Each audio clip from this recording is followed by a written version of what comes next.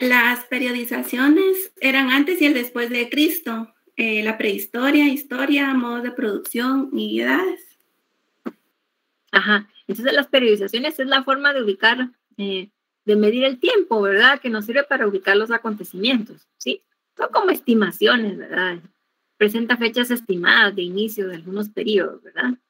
Ok, entonces, eh, bueno, ahora vamos a hablar también acerca del poblamiento de América, ¿verdad? Eh, sí, estamos haciendo un breve repaso, así un recorrido bien rápido, express, por los contenidos, ¿verdad? Entonces, eh, ahí si alguien eh, se le complica ingresar, me avisan, ¿verdad? Porque, a ver, ya les comenté. Muy bien, entonces, luego también hablamos acerca de las teorías, ¿verdad?, sobre el poblamiento de América, ¿sí? O sea, dijimos, el ser humano, el sapiens sapiens, surgió en África y de ahí se fue extendiendo a, los demás continentes, ¿verdad? Pero pues eh, se plantearon varias teorías, ¿verdad? Para poder interpretar, explicar eh, de dónde habían llegado los pobladores de América, ¿verdad? Que, que eh, quienes poblaron el continente que, que ahora es América. Entonces, em, estaba la primera teoría. ¿Cuál es la teoría eh, monogenista. A ver, ¿quién nos puede decir? ¿Quién nos puede explicar? Que pasaron por el estrecho de Bering, 600 generaciones para poblar todo el continente americano. Muy bien, Amanda, así es. ¿Cuál era la, la poligenista?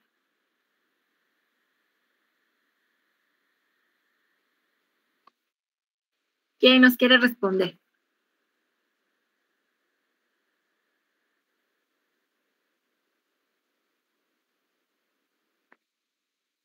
Se me fue la señal. ¿Sí estamos por ahí?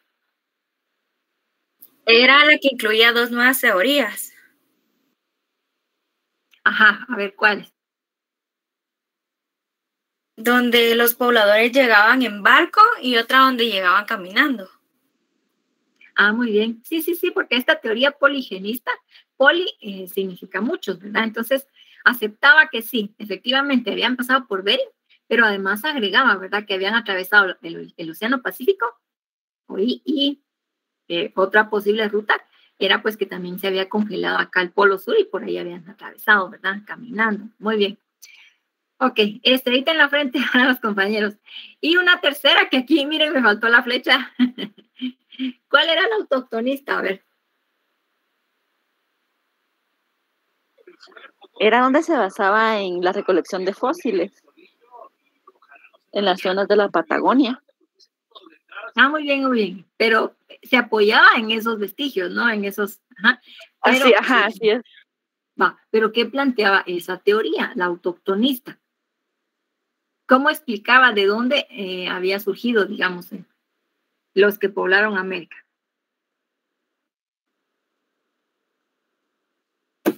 Que los seres humanos eran originarios de América y después migraron a otros continentes. Así es, ¿verdad? Entonces, esa es la tercera teoría, la autoctonista. Finalmente, la que tiene, em, la que ha tenido mayor eco, ¿verdad? Porque hay, digamos, más evidencias, ha sido la del estrecho de Bering.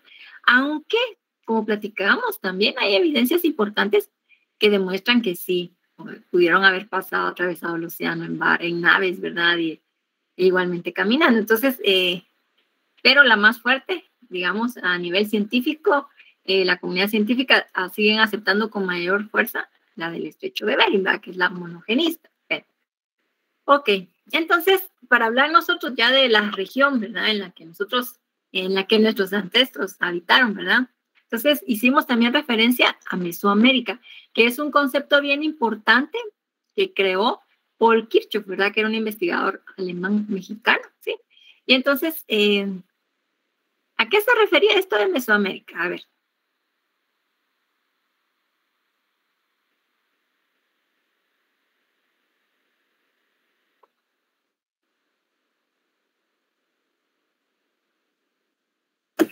que tenían muchos pueblos diferentes, pero que tenían muchas, pero que tenían cosas en común.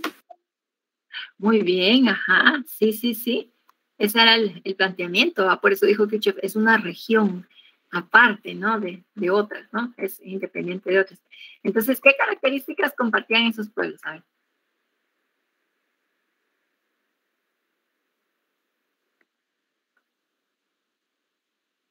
Aquí viene llegando alguien.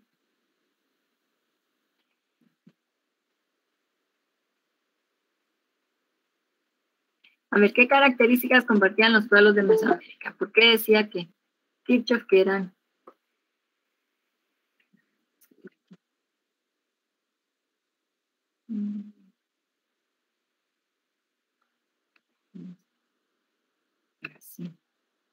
¿Por qué decía Kirchhoff que tenían cosas en común?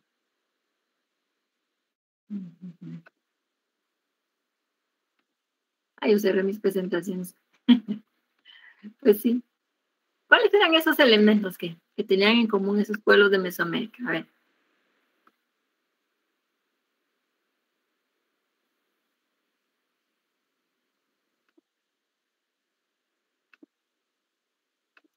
Hola, hola, ya me quedé yo sola aquí, ¿no?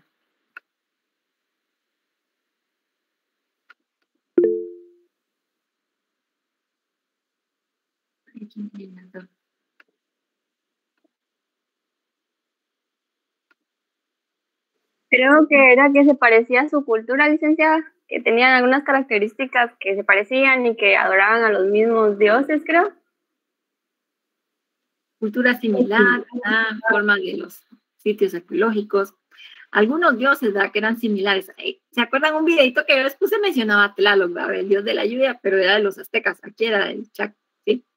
Bueno, Em, también la alimentación, ¿verdad? Maíz, frijol, chile, calabaza, muy coitos.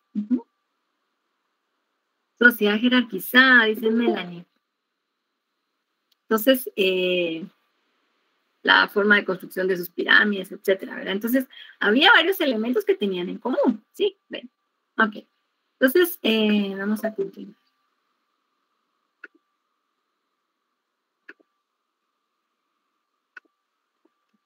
poner inestable el Internet, ¿verdad? Entonces, eh, luego hablamos de los mayas, o sea, dentro de esos grupos que habitaron Mesoamérica, pues estaban los mayas, ¿verdad? O sea, estaban toltecas, aztecas, teotihuacanos, eh, olmecas, ¿verdad? Pero a los que nosotros nos interesa más, pues son los mayas, pues es el área en la que eh, ocuparon una buena parte de, Centroamérica, ¿verdad? De Guatemala. Entonces, y es así nuestra herencia, ¿verdad? Cercana, bueno.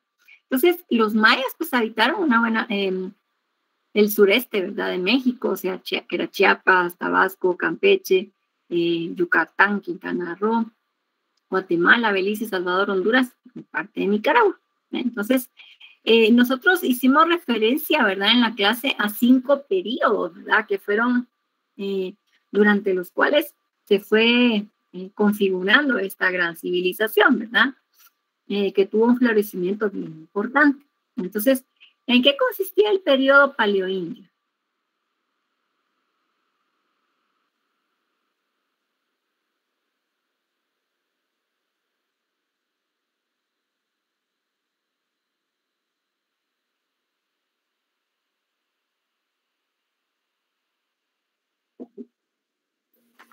Em, aquí se da, por ejemplo, los primeros campamentos de recolectores y cazadores.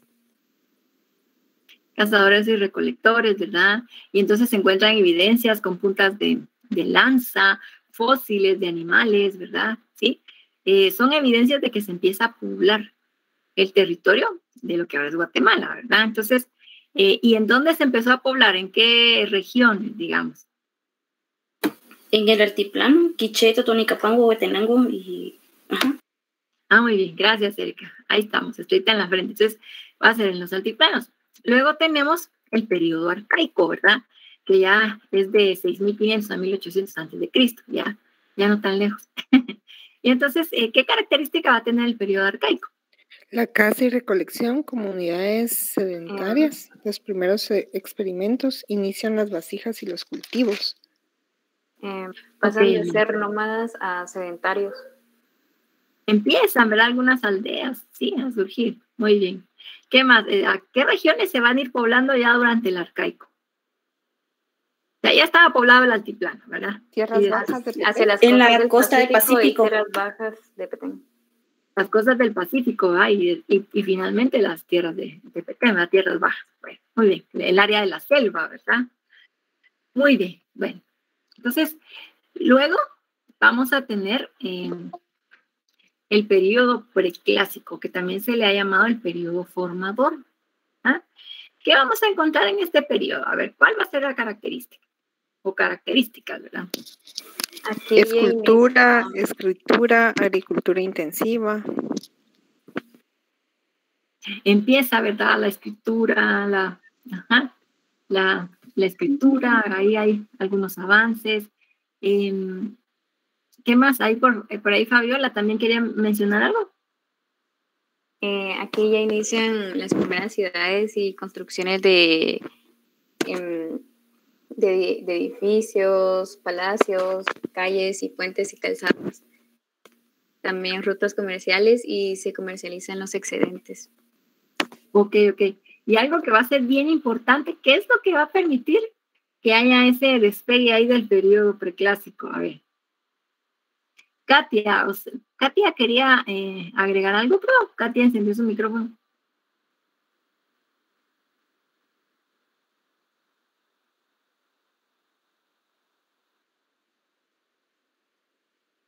Ya el dominio de la agricultura, ¿verdad? la agricultura intensiva. ¿Qué dice Katia?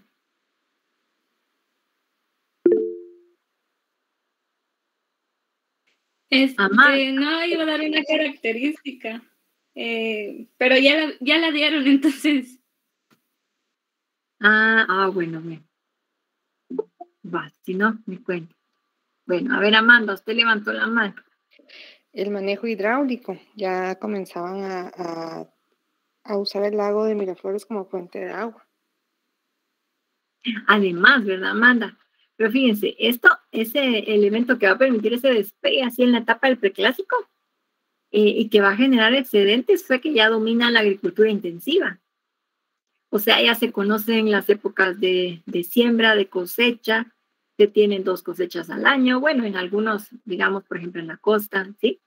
Eh, ya se utilizan, se alternan dos, dos parcelas y así, ¿verdad? Entonces, eso va a permitir eh, que haya bastante desarrollo, porque entonces permite que ya la gente pues, tenga garantizada su alimentación ya durante todo el año, ¿sí?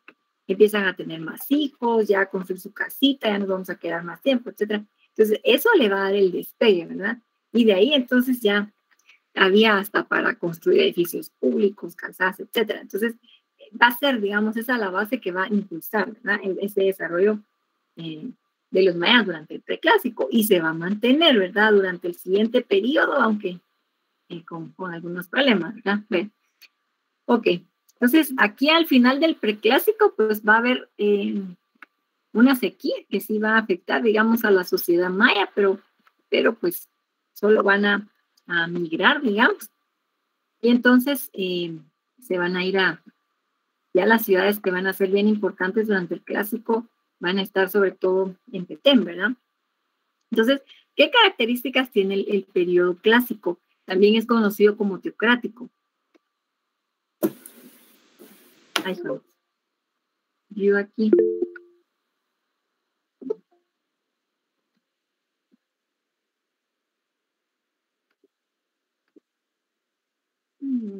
Esplendor y desarrollo científico, Mucho desarrollo. escritura jeroglífica, ajá, religión, numeración, dominio político y expansión territorial. Ok, ok. Gracias, Iris. Muy bien. ¿Qué dice Fabiola? Eh, ya hay un- una estratificación social, dominio político y extensión territorial, y la unidad básica era la familia extendida. Ah, muy bien. También aquí se da la, la competencia entre familias reales. Ya empieza, ¿verdad? A competir por el dominio de territorios, ¿verdad? La hegemonía, en- sobre todo en el área de Petén, ¿verdad? Entonces ahí al final del clásico van a haber guerras, etcétera, ¿verdad? Ok, gracias. Entonces este periodo va a ser la base, pues se supone que la religión continúa siendo eh, fundamental en la vida de los mayas, ¿verdad? Entonces eh, su religión pues va a estar vinculada eh, a sus cultivos, eh, al desarrollo de la ciencia, ¿verdad? Y entonces, y se supone que se va a agradecer siempre a los dioses, ¿verdad? Por la, por esa abundancia que se tiene, ¿verdad? Em, ok, otra, digamos, cuestión importante en el periodo clásico va a ser que se da mayor diferenciación social. O sea, aquí ya hay mucha más abundancia, digamos, con el desarrollo científico, pues surgen también otras profesiones, más ocupaciones, ¿sí? Ya no como en el, preclásico, digamos, que era como que campesinos, mm, cargadores, eh, sacerdotes, ¿no? Entonces aquí va a ser, ya va a haber mucha más diferenciación, eh, va a estar la capa del pueblo, ¿verdad? Eh, campesinos más iguales que eran los cargadores, los que hacían alfareros, ¿verdad? Que, los que hacían las, la cerámica, quienes tejían las hamacas, etcétera, digamos, hay varios tipos de artesanos, eh, luego las profesiones, los matemáticos, astrónomos, etcétera. Eh, y bueno, la, la élite militar, los sacerdotes. Y bueno, que los sacerdotes eran los que dominaban, ¿verdad? La astronomía, eh, porque pues era lo que les daba poder, ¿verdad? Y manejo también de, de, de las cosechas, ¿no? Bueno, entonces aquí vamos a ver mayor estratificación social. ¿sí? Ok. Em, al final, como decíamos, de esta etapa del clásico, se va a dar un periodo eh, complicado, ¿verdad? Eh, que se conoce como el colapso. son los últimos 200 años, ¿verdad? Del periodo clásico en las que se va a experimentar abandono de ciudades importantes. Se encuentran eh, monumentos que fueron destruidos de manera intencional, ¿verdad? Estelas que fueron rotas, ¿sí? Que están tiradas, ¿no? En el suelo y además del abandono de ciudades. Entonces, eh, de allí se empezó a especular, ¿verdad? Que pudieron haberse ido en sus naves espaciales los mayas, que entonces eran extraterrestres y entonces ahí decidieron regresarse a sus planetas, ¿verdad? Eh, o que murieron todos. Entonces, eh, esta etapa se llamó colapso. Lo que se descubrió posteriormente, ¿verdad? Fue que toda una serie de eventos ambientales, económicos, políticos, religiosos, ¿verdad?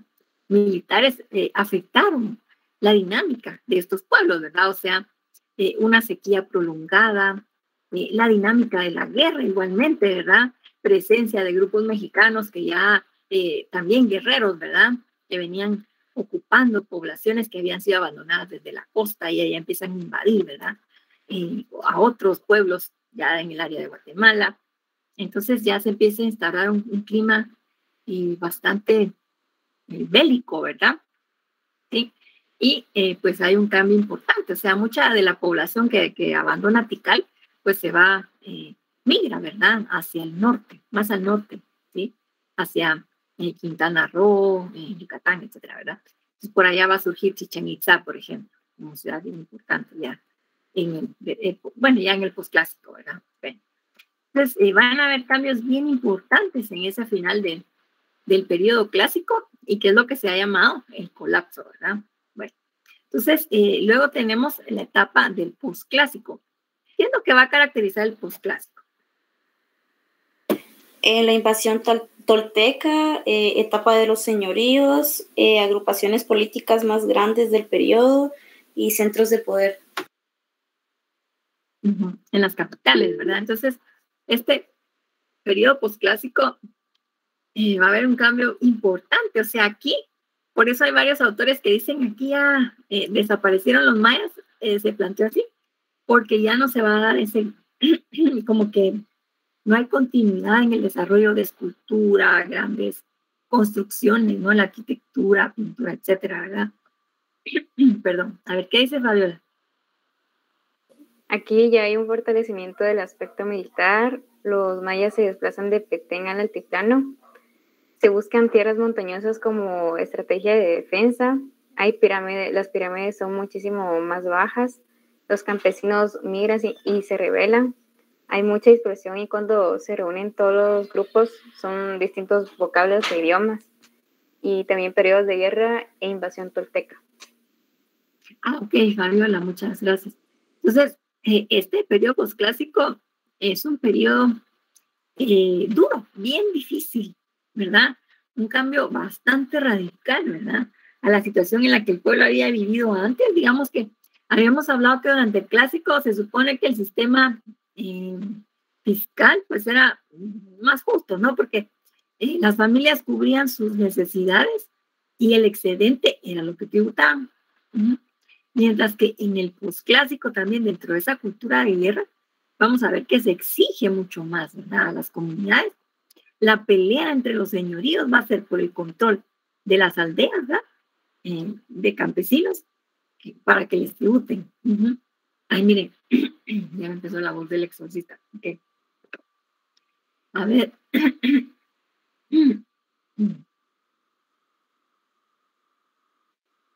Sí, Vanessa, mire los capítulos, que es la historia, eh, los mayas, los señoríos.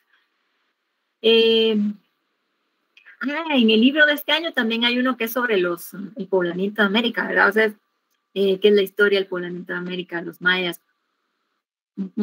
los señoríos. luego viene descubrimiento, conquista, ¿verdad? La parte de las bases jurídicas de la colonización y así hasta llegar a los repartimientos. Bueno, ok, entonces eh, va a ser una etapa bien complicada esta del postclásico. Entonces, eh, encontramos, como mencionaba por allí, no sé si fue Erika, ¿verdad? Que ya las ciudades importantes ya no van a ser en, en sino que se van a trasladar a los altiplanos, van a destacar, ¿verdad?, los quichés, que va a ser el primer señorío que se formó, que igualmente va a estar dividido, ¿no? internamente, porque los linajes van a estar peleando, ¿sí? Eh, imaginémonos, ¿verdad? O sea, que cuando hay una herencia, los hermanos se pelean, ¿verdad? Lamentablemente, ¿sí? No en todas las familias, pero sí genera mucho problema. Y no solo entre hermanos, primos, tíos, etcétera. Eh, también ahí estaba la pugna entre los linajes, las familias importantes, cercanas, digamos, a la familia real, ¿no? Igualmente dentro de los cachiqueles, ¿verdad? Que los cachiqueles pues fueron también un grupo armado, eh, guerreros muy valientes que al principio eran aliados de los quichés y luego se separaron, ¿verdad? Y también los utuiles, que van a ser un señorío importante, que van a estar aliados con los quichés, ¿sí? Un linaje vasallo van a, le van a llamar, ¿verdad? Y entonces van a estar en pugna, estos tres, eh, por el control de las aldeas de campesinos, ¿verdad? De estas comunidades rurales y pues van a estar peleando entre ellos. Eh, dentro de cada señorío van a haber pleitos entre los linajes, intrigas, ¿verdad? De, eh, ahí de, dentro de las familias, sí, que van a, digamos, mantenerlos divididos, sí, y que va a favorecer que cuando llegan los españoles, los señoríos sean derrotados, sí. Bueno, entonces, em, luego también hablábamos acerca del descubrimiento, ¿verdad? O sea, el descubrimiento, sabemos que Cristóbal Colón en 1492 llegó, ¿verdad? A tierras que pensó que eran las Indias, ¿verdad? Y entonces, eh, pues eh, poco a poco se fue descubriendo que era un nuevo continente, ¿verdad? Y al principio se le llamaba el Nuevo Mundo, posteriormente América, ¿verdad? Eh, posesiones de, España ya en, digamos, en, en otro continente, ¿sí? Entonces el descubrimiento Em, este término pues es bastante polémico, ¿verdad? Sobre todo porque para los pueblos originarios es un término ofensivo, ¿verdad? En el sentido de que eh, no fueron los españoles, o sea, los españoles no vinieron a descubrir nada, sino que fueron los ancestros, ¿no? De los pueblos originarios los que descubrieron estas tierras.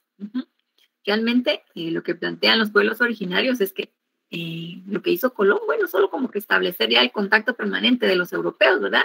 Y además de favorecer la invasión y el despojo, ¿no? Entonces, em, para poder realizar, digamos, ya, bueno, obviamente Colón se apoyó en descubrimientos científicos, ¿no? Para poder realizar sus viajes y, y realizarlo con éxito, ¿verdad? Y luego de esto empieza una tarea de conquista, del territorio, o sea, ya la exploración del territorio, ya meterse, ¿verdad? En el continente, empezar a conocer, explorar y pues a derrotar a los pueblos, ¿verdad? y a esclavizarlos, ¿sí? Eh, ¿Sí se escucha? Sí, licenciada. Sí, estamos por aquí. Va. Entonces, em, esta guerra de conquista, la mayoría de pueblos aquí en el área de Guatemala fueron vencidos dentro de los primeros 20 eh, años, ¿verdad? Aunque, pues los últimos en ser derrotados fueron eh, los Itzáes de Tayasal, ¿verdad? Allá en la isla de Flores Petén, en 1670, por ahí. Eh, también los de las Verapaces, los quechíes, esa era un área de guerra, ¿verdad? Y gracias a la intervención, bueno, ya no sabe uno si es gracias o qué va, pero Rey Bartolomé de las Casas intervino para pedir al rey que la, que la derrota, digamos, o la incorporación de los quechíes, ¿no? Al reino de Guatemala se hiciera de forma pacífica, ¿sí? Que no se les matara porque eran indígenas muy aguerridos. Y entonces que fuera eh, con la religión. Y por eso esa área pues se llamó la Verapaz, o sea, el lugar de la paz. Y pues eh, y también se conoce como la tierra de Carlos V, ¿no? Porque era el soberano en esa época, que dijo, ah, bueno, entonces sí, va, a ser de forma pacífica y entonces eh, vamos a hacer ahí un pacto y, Ya, em, se, digamos, se, ¿qué? Se pudo controlar esa región, aunque lo que se pactó fue que no iban a establecer eh, campamentos de españoles allí, ¿verdad? Que iban a respetar eh, la organización que ellos tenían, etcétera, ¿verdad? Entonces, em, cuando se realiza la, la, conquista, hubo un documento que era, va a ser bien importante y que gracias a la intervención de Fray Bartolomé en las casas, ¿verdad? Eh, se redactó, ¿verdad? Era una carta, un documento que era leído a la entrada de los pueblos para poder, para pedirles que se rindieran, ¿no? Y, leerles sus derechos, ¿no? o lo que les iba a suceder también, sus, amenazarlos con lo que les iba a suceder, era que no se rendían, ¿verdad? Entonces, este documento, pues es el requerimiento, ¿verdad? Que fue elaborado por Palacio Rubios. ¿Y que les decía a los indígenas? Pues que si no aceptaban la autoridad del Papa y de los reyes católicos, pues ellos iban a, a ser esclavizados y sus familias eh, eliminadas, muertas, asesinadas. Bueno. Entonces, em, cuando ya se da el tema de la conquista, vamos a encontrar que se presenta el tema, em, o precisamente, ¿verdad? Para poder empezar la conquista más bien, eh, se empieza a hablar de justo título y justa guerra, ¿verdad? Entonces, em, justo título va a ser cómo se adjudican los reyes, ¿verdad? Eh, la posesión, ¿no? De, de, lo que descubrió Cristóbal Colón y de lo demás, ¿no? O sea, porque acordemos, Cristóbal Colón, por ejemplo, para el área de Centroamérica visitó las costas de, Honduras, ¿sí? Pero él no entró al continente. Entonces, o sea, lo que él había descubierto y, y lo que hacía falta, ¿verdad? ¿Qué dice Silvana? Usted levantó la mano.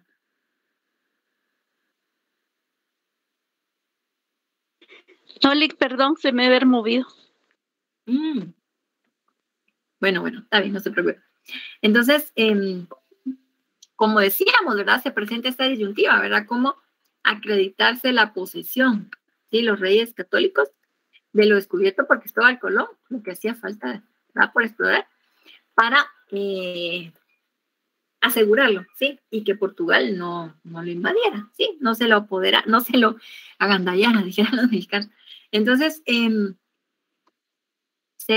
digamos que a la fecha, ¿no? Para esa época, lo que se conocía era la, el protocolo del primer descubrimiento, o sea, el primero que llega, pues ese le corresponde. Ese lo reclama, establece una cruz de madera y toma posesión, se levanta acta, etcétera, y tiene que establecer ahí un campamento, una colonia. Pero este no fue suficiente. Entonces se pensó en las bulas papales, que eran decretos emitidos por el Papa. Entonces, eh, tanto eh, Portugal como España acudieron a los papas. Eh, de turno para que les adjudicara lo que ellos habían descubierto. Como Portugal ya se había adelantado, tenía varias décadas, ya tenían mucha experiencia los portugueses en la navegación y ya tenían varias posesiones en África, ¿no? en África Occidental. Ya habían pedido al Papa Nicolás, no me acuerdo qué número era, eh, que les adjudicara ¿verdad? la posesión de esas tierras, ya como en 1455. Entonces ya estaban como que tranquilos con esto que habían descubierto antes de lo de Cristóbal Colón.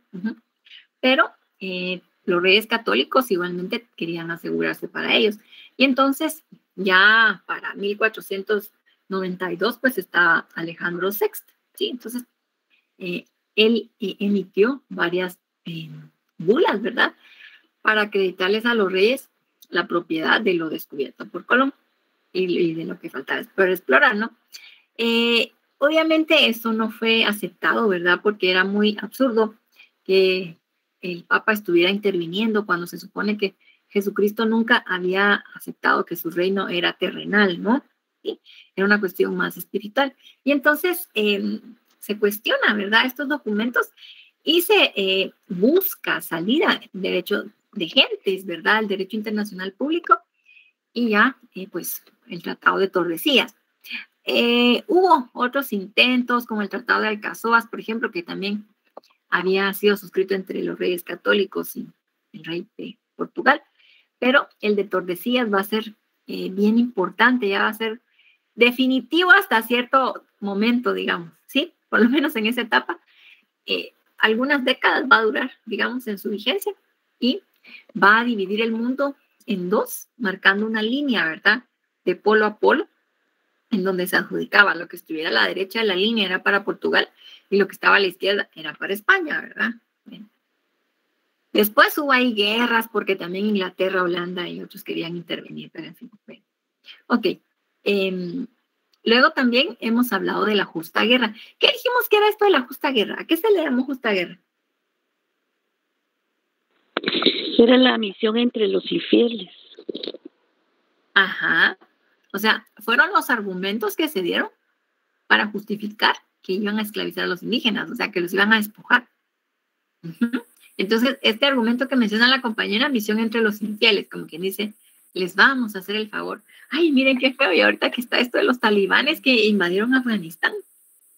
Qué serio, va, porque ustedes ya vieron, ellos son bien fundamentalistas, son bien dogmáticos. Ya vieron todo el impacto que tiene para las mujeres, ¿no? Esto de que los talibanes hayan invadido, qué retroceso. Las mujeres no pueden salir a estudiar, no pueden trabajar solo algunas doctoras y enfermeras. Ala, es que es una cuestión, las ventanas, hay que, ya no pueden ser transparentes las ventanas de las casas para que no vean a las mujeres. Ala, pero es una cosa horrible, tienen que usar la burka, ¿no? Que les solo deja ver los, medio ver los ojitos, ¿no? Porque también una madre los ojos.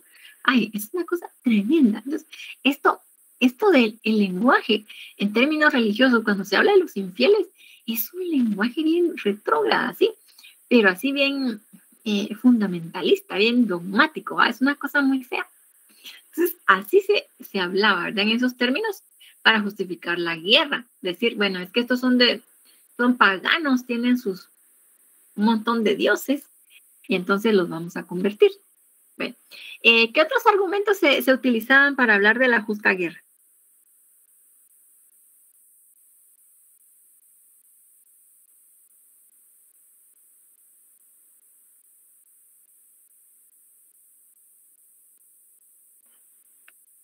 También se apeló, ¿verdad? A ese principio de las redes ¿Qué dice Aldo?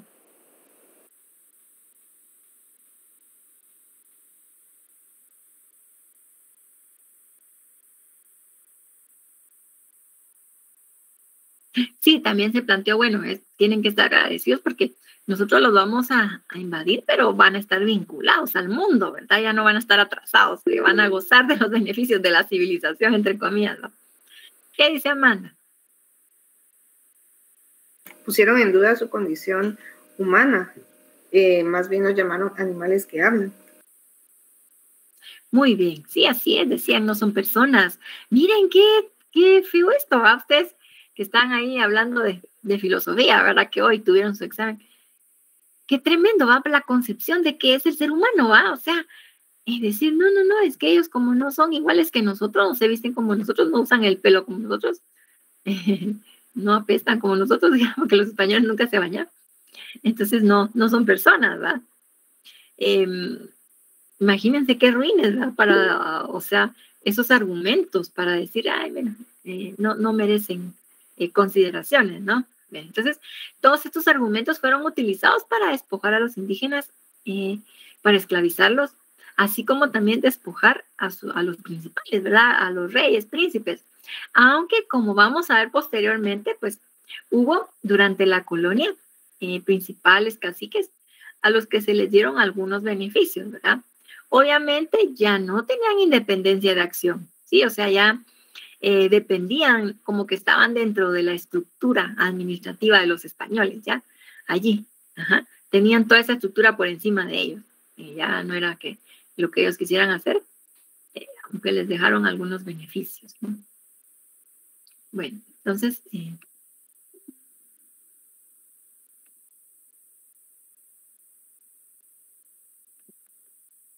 Muy bien, entonces vamos ahora Ah, bueno, las capitulaciones. ¿Qué dijimos que eran las capitulaciones?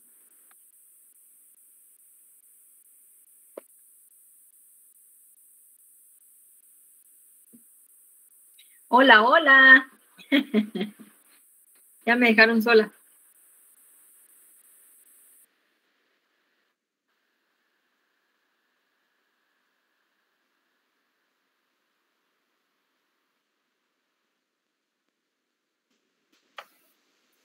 Era un escrito donde se establecían derechos para los reyes y para eh, Colón, si no estoy mal. Ah, sí, o sea, Katia. Sí, en este documento, digamos que era un, es que sí era un contrato, entonces era un documento donde quedaba, ya hacía constar derechos para los reyes y también la primera, por lo menos en el caso de América, que se había expedido fue la que se suscribió para Cristóbal Colón, ¿verdad? Que eran las capitulaciones de Santa Fe.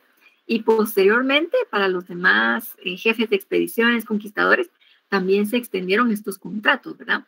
Entonces ahí se reconocían eh, beneficios de los que iban a gozar, ¿verdad? Los reyes, la, corona española, eh, la corona, ¿no? De Castilla, digamos, en caso de que ese conquistador llegara al nuevo mundo, ¿verdad? Y también privilegios para, para estos conquistadores, ¿no? ¿Cuáles eh, eran los privilegios que, establecían para los eh, conquistadores?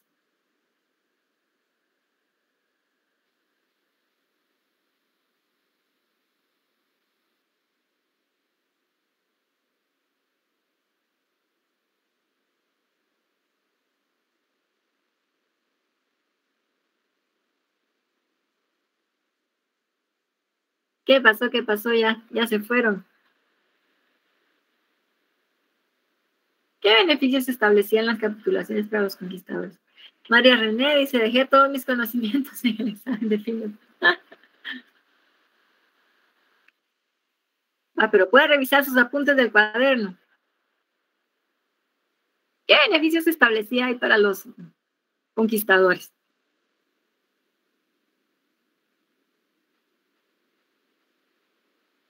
Hola, hola. Para los reyes era la quinta parte del oro que se encontrase. Ah, para los reyes eh, la, la quinta parte, el quinto real, ¿verdad? De, metales preciosos. Em, ¿Qué más? A ver, se supone que también tomaban posesión en nombre de los reyes. Em, para los conquistadores, pues se supone que el título adelantado tenía atribuciones de, podía repartir tierras entre sus hombres, tomar posesión para él mismo, ¿verdad? Eh, también se convertía en la máxima autoridad a su llegada, ¿no? Al espacio que le habían asignado, ¿no? Como que a la latitud, digamos, esa demarcación, ¿verdad? Que le correspondía. Eh, podía impartir justicia, ¿no? Bueno, entonces eh, tenía varios privilegios que eran importantes y pues era quien gobernaba, ¿verdad? Durante, por lo menos al principio. Ya posteriormente los reyes se asustaron y empezaron a, recuperar el control, ¿verdad? Eh, luego vamos a hablar de las expediciones también, ¿verdad? O sea, ¿quiénes viajaban en, estos barcos con Cristóbal Colón y posteriormente, ¿verdad? En las otras expediciones, ¿qué tipo de personas eran las que viajaban? Los reclusos, em, segundones, eh, campesinos, artesanos religiosos y oficiales del rey. Ah, muy bien, muy bien, Erika. Sí, entonces ese era el tipo de personas que viajaron. A ver, Katia, ¿qué dice usted? ¿Quiénes eran aquellas gentes, aquellos grupos de personas que estaban, que tenían prohibido viajar al nuevo continente?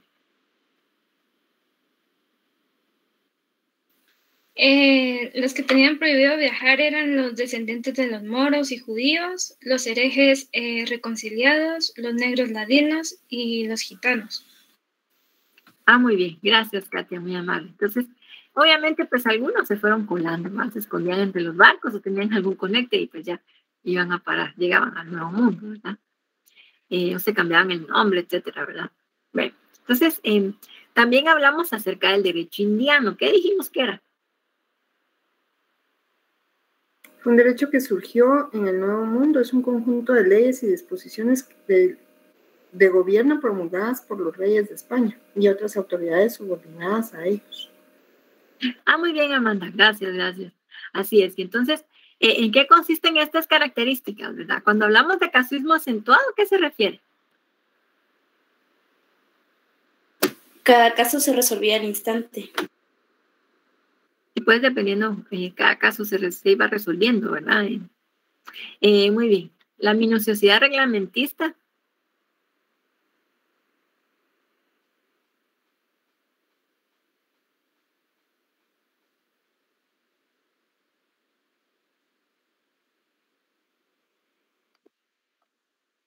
¿En qué consistía la minuciosidad reglamentista? A ver quién sabe.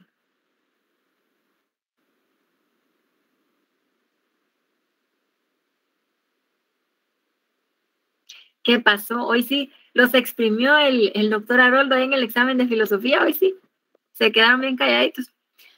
Entonces, en la minuciosidad reglamentista se supone que hay mucha burocracia, ¿verdad? Mucha burocracia, mucho papeleo que complicaba, que hacía, que entrampaba mucho, ¿verdad? Ah, nos traumó. Pero va que tienen tres días para reponerse y para estudiar historia, va, está bien. Bueno. Sí, eso es bueno. Pero mire, todas esas experiencias hacen que uno vaya creciendo académicamente. va. Entonces, eh, luego el hondo sentido religioso y espiritual, ¿en qué consistía?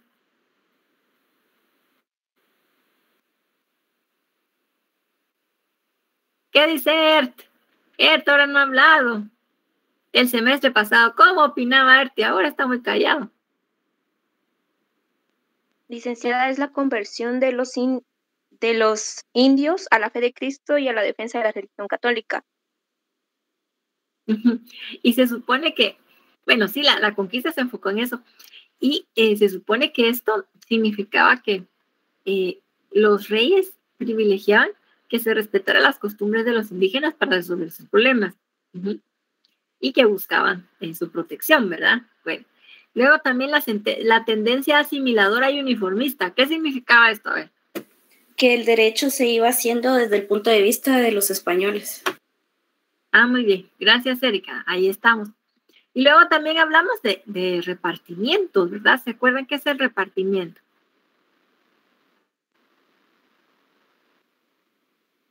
Hablamos de encomienda y de repartimiento. ¿Qué era eso de la encomienda? A ver, ¿de acuerdo?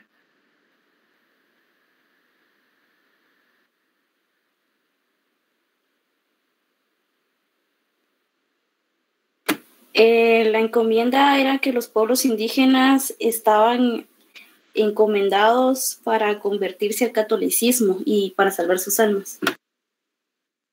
Ah, muy bien, Erika, gracias. Entonces se le entregaba a cada eh, conquistador, ¿verdad? Eh, un número de, pueblos para que trabajara y le tributara y a cambio pues se supone que los les daba protección y que iba a evangelizarlos, ¿no? O sea, velar por su salvación. Entonces, eh, y bueno, ya el repartimiento era la forma de trabajo forzado, ¿verdad? Y entonces, digamos que estaban vinculadas las dos figuras, ¿no? Y pues las primeras formas de repartimiento que van a surgir va a ser el repartimiento de indios y de tierras. Estas fueron las que hicieron los conquistadores, ¿verdad? Pedro de Alvarado, por ejemplo, repartió, ¿verdad? Tierras y también repartió pueblos para que trabajaran.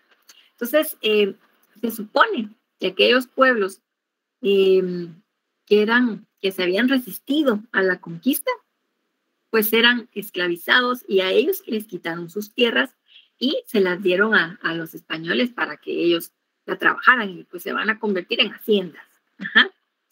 Y eh, pues se quedaron, esos indígenas se los apropiaron ellos, eh, se los quedaron como esclavos para que les trabajaran. Y aparte estaban eh, los otros pueblos, los que no se habían, los que no se habían resistido, los que se rindieron, que tenían que tributarle al encomendero, le tenían que pagar un impuesto y pues también eh, si les exigía que trabajaran sus tierras, pues igual tenían que ir a trabajar, ¿sí? Pero se supone que eran sus esclavos, ¿verdad? Posteriormente, ya con las leyes nuevas, en 1542, ¿verdad? Ya después de los pleitos, ¿no? De, de, todos los alegatos eh, por Fray Bartolomé en las casas. Entonces, hay un cambio porque el rey decide que no pueden ser esclavos los indígenas. Y fíjense que es que ahí se da una dinámica eh, bien importante, o sea, no era solo los argumentos de, las casas y de los escolásticos, sino que también la población indígena había estado mermando bastante. O sea, uno, pues un porcentaje había muerto durante la guerra. Otros, eh, por la gran explotación a la que eran sometidos. O sea, jornadas de trabajo de muchas horas, de 12, 14, 16 horas, de lunes a domingo. Jornadas muy extenuantes, ¿verdad? En la que usaban la fuerza de su cuerpo, ¿no? Para trabajar. Entonces, eh, era muy agotador, ¿sí? Además de las epidemias. Entonces, que las epidemias fueron tuvieron un impacto tremendo, ¿verdad? Eh, y afectaron grandemente, o sea, la viruela, el sarampión, la peste neumónica y otras. Entonces, bajaron un montón de la población. ¿Y quién iba a trabajar las tierras? Entonces, el rey tenía que protegerlos. Ahí sí que entre comillas, ¿va proteger? Y entonces se emiten las leyes nuevas. Lo que vamos a ver entonces es que a partir de, de posterior de las leyes nuevas, eh, van a surgir otras formas de repartimiento. Obviamente, dice el rey, eh, estos pueblos ya no van a tributar al encomendero, van a ser tributarios solo de la corona, ¿sí? Solo al rey. Pero eh, sí, al principio se los había quitado para que trabajaran con los encomenderos, pero hubo paro y, en fin, protestas. Entonces dijo el rey, bueno, está bueno. Van a contar con trabajadores pero les van a tener que pagar, ¿sí? Y no van a ser... Eh, ay, gracias, gracias, mi amable. Eh, les tienen que pagar y pues no van a estar todos al mismo tiempo, sino que se van a ir turnando. Ajá. Entonces surge ese sistema de las cuatro tandas, que era que cada comunidad se dividía en cuatro grupos. El primer grupo viajaba la primera semana del mes, el segundo grupo la segunda semana y así. Eh, digamos, trabajaba, ¿no? en esas haciendas de los encomenderos para que pudieran durante el otro, las otras semanas trabajar sus propias tierras, ¿no? Y poder tener para alimentarse y para tributarle al rey. Luego también eh, fue, digamos, eh, cambiando esta, este repartimiento eh, feudal y entonces, bueno, así les, digamos, llamó Severo Martínez. Y entonces se convirtió en mandamiento, o sea, mandamiento se supone que se refería a que ya estos poblados indígenas solo se trasladaban a trabajar a las haciendas durante la época de siembra y de cosecha, ¿verdad? Entonces ya no tenían que estar durante todo el año asistiendo, ¿no? A trabajar. Y también estaba el repartimiento de mercancías y el de hilados. A ver, ¿en qué consistía el de mercancías?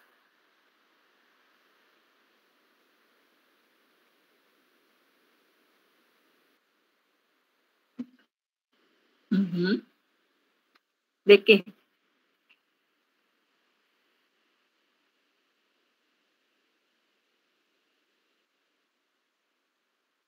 Aldo.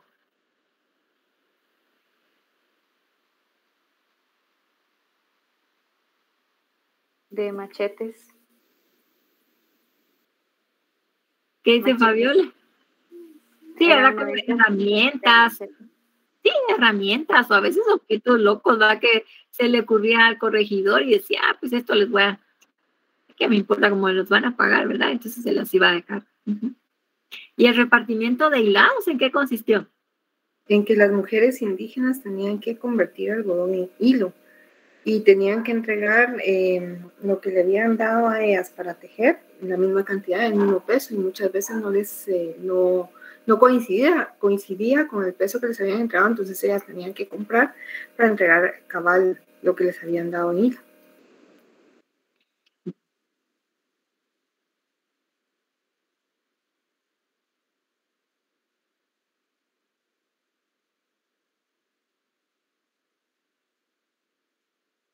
Así es, Aldo. Sí, así es.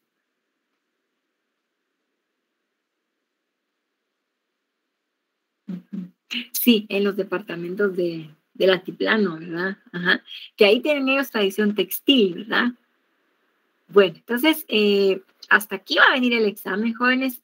No sé si tengamos algún otro comentario, duda, ¿verdad? Que al respecto ya, esto sería ya el contenido.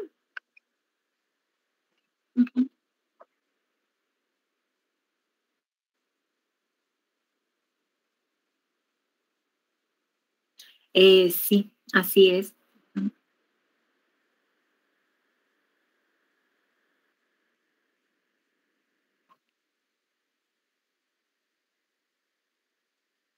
Pues fíjese que va a ser como a partir de eh, siglo XVI, ya digamos como de 1550 en adelante, ¿no? que va a empezar a funcionar. Eh, digamos, fue poco a poco la implementación, ¿verdad? Pero sí se van a mantener sobre todo estos, esos negocios de los corregidores, ¿verdad? Luego eh, viene una reforma, en la próxima clase, como dentro de dos clases vamos a ver eso, pero con las reformas borbónicas buscaron eliminar las figuras de corregidor porque eh, eran muy mafiosos, bien corruptos, y ya la corona no tenía dinero, no, no recaudaba, precisamente por todos esos abusos de los corregidores. Entonces ahí se da un cambio importante, se desaparecen los corregimientos y se crean otras unidades que eran las intendencias, ¿verdad? A ver, ¿qué dice aquí en el chat?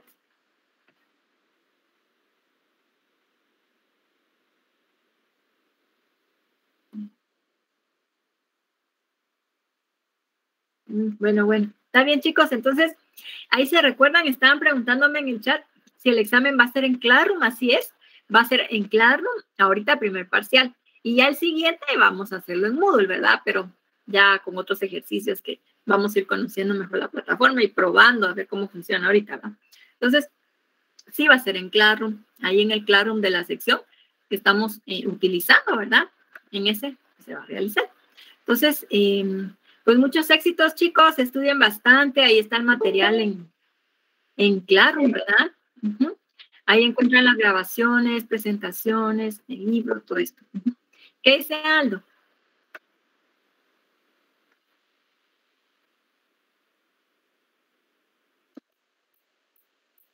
Fíjese que sí vienen eh, combinados, ¿verdad? De las diapositivas de, del libro, ¿verdad? Para que leamos. Eh, lo bueno es que sí, fíjense que ahorita tienen suficiente tiempo ahí para avanzar. Ahorita sí que bastante tiempo para leer sobre historia. Desde descansen hoy y ya mañana en la mañana empezamos a, a repasar, a leer historia. ¿Qué dice Aldo?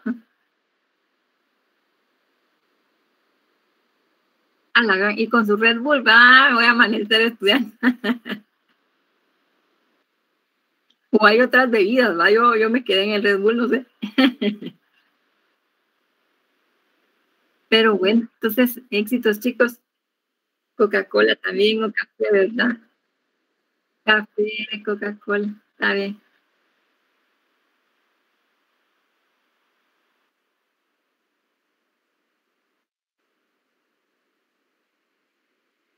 Sí, sí, sí, o sea, el libro, las diapositivas, ¿verdad? Y, y pues está todo el material en el, claro, porque me preguntaban hasta qué capítulo. Miren, pues precisamente todo lo que está ahorita en claro eh, es contenido examen porque es primer parcial, ¿verdad? Eh, desde qué es la historia, poblamiento de América, los mayas, los señoríos, descubrimiento, eh, digamos, la conquista, el tema de bases jurídicas, ¿verdad? Todo esto que dijimos, ah, bueno, antes, ¿verdad? descubrimiento, justo título, justa guerra, la conquista, eh, las capitulaciones, expediciones, derecho indiano, pues todo esto ¿verdad? que estuvimos repasando hoy, pues todo esto viene hasta eh, repartimiento, ¿verdad?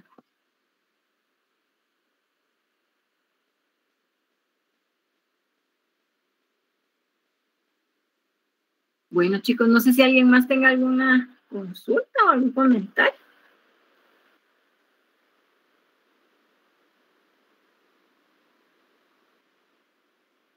Ok, Aldo, con gusto. Bueno, chicos, entonces, pues cuídense bastante. Qué gusto que, ustedes estuvieron hoy en el repaso y felicito porque, miren, hoy sí que el poder femenino va un montón de chicas eh, ahí respondiendo. Se ve que estaban estudiando ya. Al final, Aldo ahí pues sacó ahí, respondió algunas de las preguntas, pero de ahí la mayoría, ¿verdad? Las compañeras, ya que ya están eh, estudiando, ya avanzaron ahí, ¿verdad?